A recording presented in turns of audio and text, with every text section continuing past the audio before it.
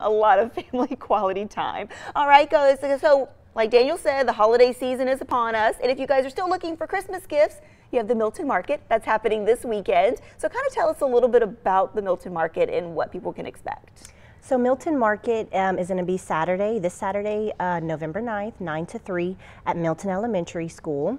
And we have over about 130 vendors um, to just shop for any of your Christmas and holiday needs.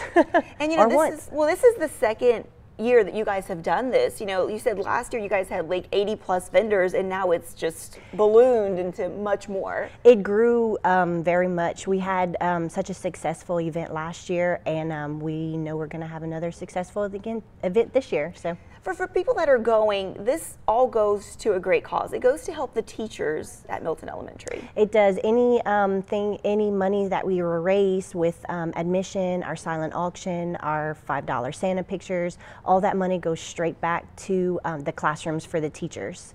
So, so really anything that they need, the anything that they need, them. they can use it um, for their classroom. Uh, anything that if they need to buy anything for it. So, yep. So we're talking. You guys are going to have petting zoo, of course, shopping. So fun for the kids, fun for the parents as well.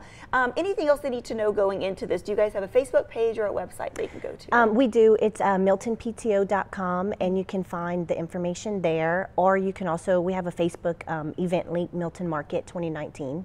All right, can you get the tickets early or do you get them at the door? You get them at the door and it's $2 admission for adults. Children are free. All right, perfect. Well, thank you so much for being here this thank morning. Thank you. We appreciate it. Guys, if you missed any of that information, of course, we will be posting it on KATC.com. It sounds like a lot of fun, so make sure you go and check it out. Well, the time now is 527. For those of you celebrating a birthday today, happy birthday.